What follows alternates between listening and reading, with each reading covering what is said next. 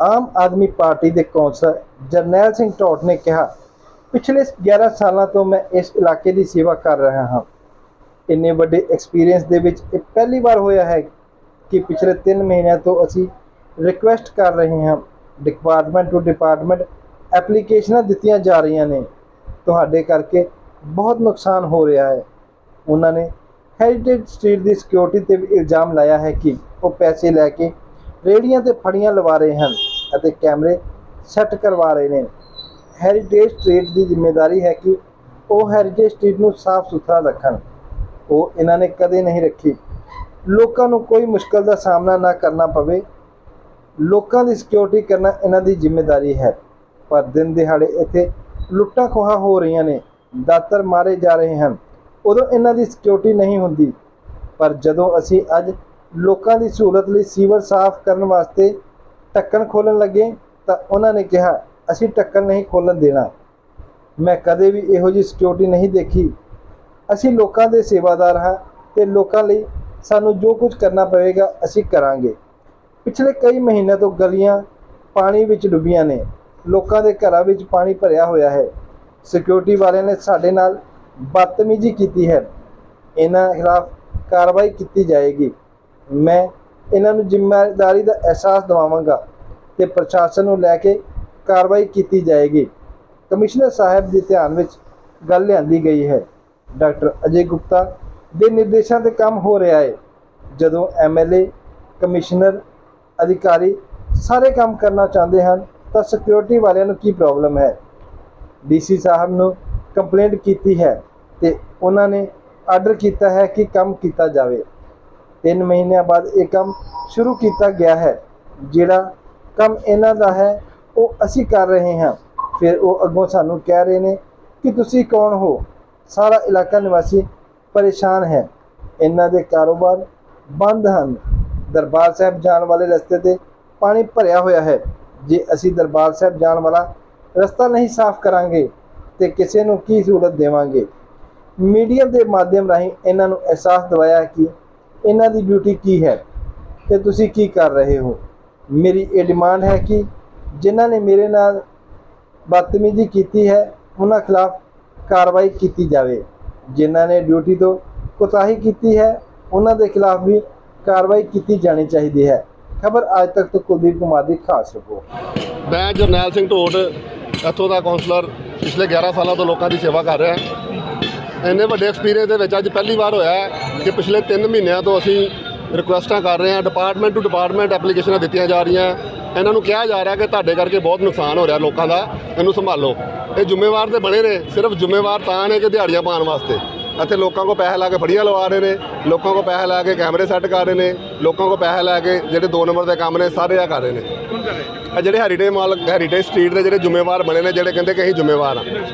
ਜਿਹੜੇ ਸਿਕਿਉਰਿਟੀ ਵਾਲੇ ਨੇ, ਜਿਹੜੀ ਇਹਨਾਂ ਦੀ ਜ਼ਿੰਮੇਵਾਰੀ ਆ, ਅੱਜ ਉਹਨਾਂ ਨੂੰ ਯਾਦ ਕਰਾਉਣ ਵਾਸਤੇ ਤੁਹਾਡੇ ਸਾਰਿਆਂ ਦਾ ਆਪਾਂ ਸਹਿਯੋਗ ਲੈ ਰਹੇ ਹਾਂ ਇਹਨਾਂ ਦੀ ਜ਼ਿੰਮੇਵਾਰੀ ਆ ਕਿ ਹੈਰੀਟੇਜ ਵਾਕ ਨੂੰ ਨੀਟ ਤੇ ਕਲੀਨ ਰੱਖਿਆ ਜਾਵੇ। ਉਹ ਇਹਨਾਂ ਨੇ ਕਦੀ ਰੱਖੀ ਨਹੀਂ। ਹੈਰੀਟੇਜ ਵਾਕ ਤੋਂ ਲੋਕਾਂ ਨੂੰ ਮੁਸ਼ਕਲ ਨਾ ਆਵੇ, ਲੋਕਾਂ ਦੀ ਸਿਕਿਉਰਿਟੀ ਕਰਨਾ। ਲੋਕਾਂ ਨਾਲ ਦਿਨ ਦਿਹਾੜੇ ਇੱਥੇ ਸਨੈਚਿੰਗਾਂ ਹੋ ਰਹੀਆਂ, ਲੋਕਾਂ ਤੇ ਦਾਤਰ ਵੱਜ ਰਹੇ ਨੇ, ਉਦੋਂ ਇਹਨਾਂ ਦੀ ਸਿਕਿਉਰਿਟੀ ਹੁੰਦੀ ਨਹੀਂ। ਤੇ ਅੱਜ ਜਦੋਂ ਅਸੀਂ ਲੋਕਾਂ ਦੀ ਸਹੂਲਤ ਵਾਸਤੇ, ਸੀਵਰ ਸਾਫ਼ ਕਰਨ ਵਾਸਤੇ ਢੱਕਣ ਖੋਲਣਾ ਤੇ ਉਹ ਕਹਿੰਦੇ ਅਸੀਂ ਖੋਲਣ ਨਹੀਂ ਦੇਣਾ। ਇਹ ਇਹਨਾਂ ਨੂੰ ਬੰਦਾ ਪੁੱਛੇ ਵੀ ਤੁਹਾਡੀ ਕਿਹੜਾ ਕਾਨੂੰਨ ਹੈ ਤੇ ਕਿਹੜੀ ਤੁਹਾਡੀ ਸਿਕਿਉਰਿਟੀ ਹੈ, ਸਾਨੂੰ ਵੀ ਸਮਝਾ ਦਿਓ। ਅਸੀਂ ਆਪਣੀ ਜ਼ਿੰਦਗੀ 'ਚ ਇਹੋ ਜਿਹੀ ਸਿਕਿਉਰਿਟੀ ਨਹੀਂ ਵੇਖੀ ਜਿਹੜੀ ਤੁਸੀਂ ਕਰ ਰਹੇ ਹੋ।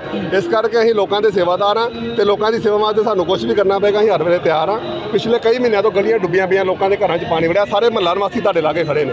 ਇਹ ਕੋਈ ਭੀੜ ਨਹੀਂ ਹੈ, ਸੰਗਤ ਨਹੀਂ ਹੈ, ਇਹ ਲੋਕਲ ਇਲਾਕਾ ਨਿਵਾਸੀ ਨੇ ਜਿਨ੍ਹਾਂ ਦੇ ਘਰਾਂ 'ਚ ਪਾਣੀ ਵੜਿਆ ਇਹ ਸਾਰੇ ਤੁਹਾਨੂੰ ਆਪਣੇ ਜ਼ਬਾਨੀ ਵੀ ਤੁਹਾਨੂੰ ਦੱਸਣਗੇ। ਇੱਕ ਚੀਜ਼ ਮੈਂ ਤੁਹਾਨੂੰ ਵਿਖਾਉਣ ਜਾ ਰਿਹਾ ਕਿ ਇਹ ਪਿਛਲੇ ਹਫ਼ਤੇ ਜਿਹੜੀ ਇਹਨਾਂ ਦੀ ਟਰੰਚ ਅੱਜ ਜਿਹਦੇ ਆ ਕਹਿੰਦੇ ਕਿ ਸਾਡੀ ਜ਼ਿੰਮੇਵਾਰੀ ਹੈ ਉਸ ਦੇ ਵਿੱਚ ਇਲੈਕਟ੍ਰੀਕਲ ਟਰੰਚ ਦੇ ਵਿੱਚ ਪਾਣੀ। ਤੁਸੀਂ ਵੇਖੋ ਇਲੈਕਟ੍ਰੀਕਲ ਟਰੰਚ ਦੇ ਵਿੱਚ ਪਾਣੀ ਜਾਏਗਾ ਤੇ ਕਿੱਡਾ ਵੱਡਾ ਹਾਸਾ ਹੋਏਗਾ। ਇਹਨਾਂ ਨੂੰ ਪੁੱਛਿਆ ਜਾਵੇ ਆ ਵੇਖੋ ਇਲੈਕਟ੍ਰੀਕਲ ਟਰੰਚ ਜੇ ਤੇ ਪਾਣੀ ਭਰਿਆ ਜੇ। ਤੇ ਸਾਰੀਆਂ ਤਾਰਾਂ ਸੜ ਗਈਆਂ। ਬਿਜਲੀ ਬੋਰਡ ਦੇ ਮੁਲਾਜ਼ਮਾਂ ਨੂੰ ਉਦੋਂ ਬੜਾ ਵੱਡਾ ਝਟਕਾ ਲੱਗਾ ਇਹ ਚੀਜ਼ ਵੇਖ ਕੇ ਕਿ ਆ ਕੀ ਕਰਦੇ ਪਏ ਆ? ਲੋਕਾਂ ਦਾ ਨੁਕਸਾਨ ਕਰਦੇ ਪਏ ਆ। ਇਹਨਾਂ ਨੂੰ ਮੈਂ ਪੁੱਛਣਾ ਚਾਹੁੰਦਾ ਕਿ ਜਿਹੜਾ ਪੰਜਾਂ ਦਿਨਾਂ ਦਾ ਲੋਕਾਂ ਦਾ ਨੁਕਸਾਨ ਹੋਇਆ, ਲੋਕਾਂ ਨੇ ਡੀਜ਼ਲ ਬਾਲੇ ਆਪਣੇ ਕਾਰੋਬਾਰਾਂ ਦੇ ਵਿੱਚ ਹਜ਼ਾਰਾਂ ਰੁਪਿਆਂ ਦੇ, ਉਹ ਕੌਣ ਭਰਪਾਈ ਕਰੇਗਾ? ਤੇ ਜਿਹੜੇ ਲੋਕੀ ਗਰਮੀ 'ਚ ਜਿਨ੍ਹਾਂ ਦੇ ਪੰਜ ਦਿਨ ਰਿਸ਼ਤੇਦਾਰ ਆਏ ਜਾਂ ਉਹਨਾਂ ਦੇ ਸੱਜਣ ਮਿੱਤਰ ਉਹਨਾਂ ਦੇ ਘਰ ਆ ਕੇ ਉਹਨਾਂ ਨੂੰ ਕਹਿ ਕੇ ਗਏ ਕਿ ਤੁਸੀਂ ਕਿੱਦਾਂ ਦੇ ਇਲਾਕੇ 'ਚ ਲੈ ਰਹੇ ਹੋ? ਵੇਖੋ, ਐਡਾ ਪਵਿੱਤਰ ਇਲਾਕਾ ਹੋਵੇ, ਗੁਰੂ ਰਾਮਦਾਸ ਪਾਸ਼ਾ ਦੀ ਧਰਤੀ, ਉਹਨਾਂ ਦੇ ਨਾਲ ਬੈਠੇ ਹੋਈਏ ਤੇ ਆਪਣੇ ਰਿਸ਼ਤੇਦਾਰਾਂ ਕੋ, ਆਪਣੇ ਸੱਜਣਾ ਮਿੱਤਰਾਂ ਕੋ ਗੱਲਾਂ ਸੁਣੀਏ। ਲੋਕੀ ਕਹਿੰਦੇ ਵੀ ਤੁਹਾਡੇ ਘਰ ਇਹਨਾਂ ਦੇ ਕਿਸ਼ਤੀ ਲੈ ਕੇ ਆਈਏ। ਮਤਲਬ ਇਹੋ ਜਿਹੇ ਭਰਾ ਸਾਡੇ ਨਾਲ ਨੇ ਜਿਨ੍ਹਾਂ ਨੂੰ ਰਿਸ਼ਤੇਦਾਰ ਉਹਨਾਂ ਦੇ ਘਰ ਨਹੀਂ ਆਉਂਦੇ। ਤੇ ਇਹ ਲੋਕ ਕਹਿੰਦੇ ਕਿ ਅਸੀਂ ਇਸ ਚੀਜ਼ ਦੇ ਜ਼ਿੰਮੇਵਾਰ ਆ ਤੇ ਇਹਨਾਂ ਨੂੰ ਮੈਂ ਪੁੱਛਣਾ ਚਾਹੁੰਦਾ ਕਿ ਤੁਹਾਡੀ ਜ਼ਿੰਮੇਵਾਰੀ ਕੀ ਆ? ਲੋਕਾਂ ਨੂੰ ਤੰਗ ਕਰਨਾ ਲੋਕਾਂ ਨੂੰ ਪਰੇਸ਼ਾਨ ਕਰਨਾ ਲੋਕਾਂ ਕੋਲ ਪੈਸੇ ਲੈਣੇ ਦੋ ਨੰਬਰ ਦੇ।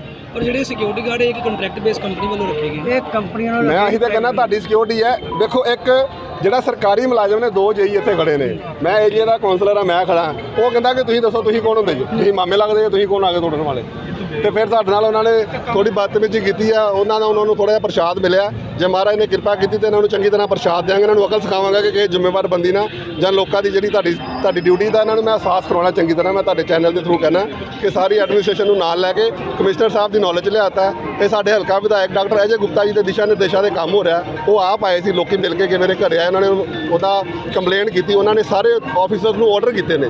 ਦੇਖੋ ਐਮਐਲਏ ਕਮਿਸ਼ਨਰ ਐਸਸੀ ਔਰ ਇਲਾਕਾ ਨਿਵਾਸੀ ਸਾਰੇ ਕੰਮ ਕਰਨਾ ਚਾਹੁੰਦੇ ਹੋਣ ਤੇ ਇਕੱਲੇ ਸਿਕਿਉਰਿਟੀ ਵਾਲਿਆਂ ਨੂੰ ਕੀ ਪ੍ਰੋਬਲਮ ਹੈ? ਡੀਸੀ ਸਾਹਿਬ ਦੇ ਹੁਕਮਾਂ ਤੇ ਡੀਸੀ ਨੂੰ ਕੰਪਲੇਂਟ ਕੀਤੀ ਹੋਈ ਹੈ ਡੀਸੀ ਨੇ ਫਾਰਵਰਡ ਕੀਤੀ ਕਿ ਇਹਨੂੰ ਕੰਮ ਕੀਤਾ ਜਾਵੇ। ਸਾਰਾ ਚੇਨ ਕਰਕੇ 3 ਮਹੀਨਿਆਂ ਬਾਅਦ ਇਹ ਕੰਮ ਸ਼ੁਰੂ ਕੀਤਾ। ਜਿਹੜਾ ਕੰਮ ਇਹਨਾਂ ਦਾ ਹੈਗਾ ਉਹ ਅਸੀਂ ਕਰ ਰਹੇ ਹਾਂ ਤੇ ਫਿਰ ਵੀ ਸਾਨੂੰ ਕਹਿੰਦੇ ਤੁਸੀਂ ਕੌਣ ਹੋ?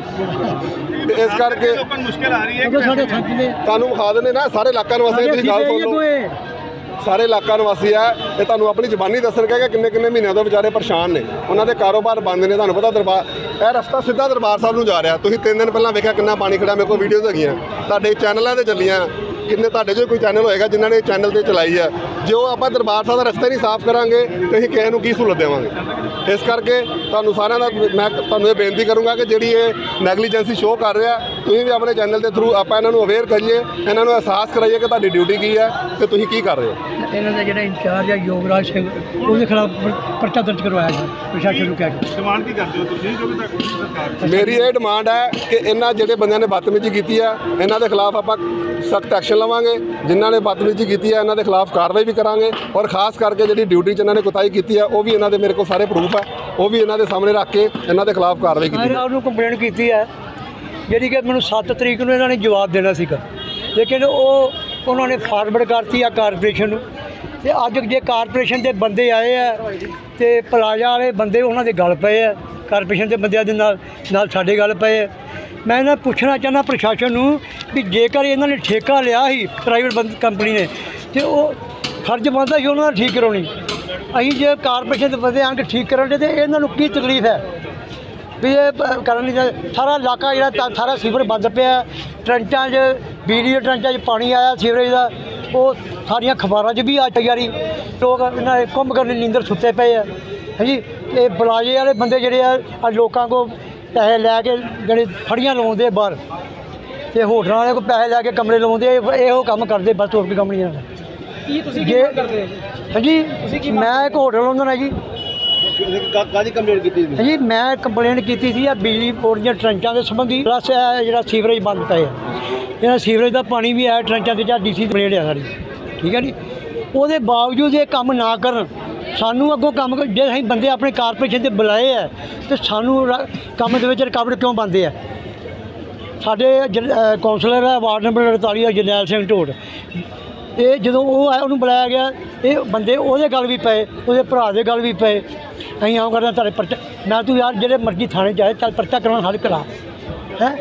ਕੰਮ ਹੈ, ਕੰਮ ਇਹਨਾਂ ਦਾ ਕਰਨਾ। ਇਹ ਕੰਮ ਆਪ ਕਰਦੇ ਨਹੀਂ ਕਿ ਲੱਖਾਂ ਰੁਪਏ ਲਈ ਜਾਂਦੇ ਆ ਮਹੀਨੇ ਦੇ ਖਰਚਾ। ਤੇ ਕੰਮ ਉੱਥੇ ਆ, ਇਹਨਾਂ ਦਾ ਕੰਮ।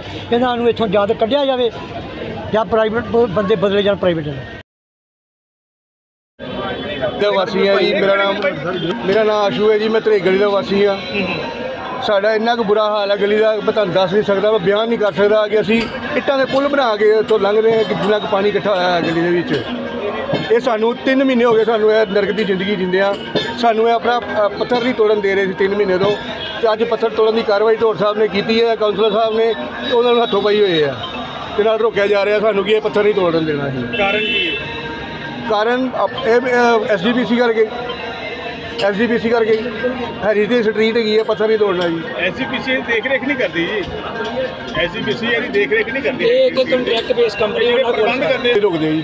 ਸਿਕਿਉਰਿਟੀ ਵਾਲੇ ਰੁਕਦੇ ਸਿਕਿਉਰਿਟੀ ਵਾਲੇ ਰੁਕਦੇ ਹੋਰ ਵੀ ਤੰਗ ਪਰੇਸ਼ਾਨ ਕਰਦੇ ਕੀ ਨਹੀਂ ਸਾਨੂੰ ਤਾਂ ਹੋਰ ਤੰਗ ਪਰੇਸ਼ਾਨੀ ਸਿਰਫ ਸਾਨੂੰ ਆਇਆ ਹੀ ਕਿ ਬਸ ਸੀਵਰੇ ਨਿਕਲ ਜਾਣ ਸਾਡੇ ਗਟਰ ਨਿਕਲ ਜਾਣ ਗਲੀ ਦੇ ਸਾਡੀ ਜ਼ਿੰਦਗੀ ਸੌਖੀ ਹੋਵੇ। ਕਿੰਨੇ ਦਿਨਾਂ ਤੋਂ ਪਾਣੀ ਦੀ 2 ਮਹੀਨੇ ਹੋ ਗਏ ਸਰ 2 ਮਹੀਨੇ ਹੋ ਗਏ। ਮੈਂ ਤੁਹਾਨੂੰ ਵੀਡੀਓ ਦਿਖਾਵਾਂ ਫੋਟੋ ਦਿਖਾਵਾਂ ਤੁਸੀਂ ਜਰਾ ਸਰ ਦੇਖੋ ਤੁਸੀਂ ਤੁਸੀਂ ਬਰਸਾਤ ਦੀ ਮੁਸ਼ਕਲ ਆ ਬਹੁਤ ਜ਼ਿਆਦਾ ਆਹ ਦੇਖੋ ਤੁਸੀਂ ਹਾਲ ਦੇਖੋ ਆਹ ਦੇਖੋ ਹਾਲ ਦੇਖੋ।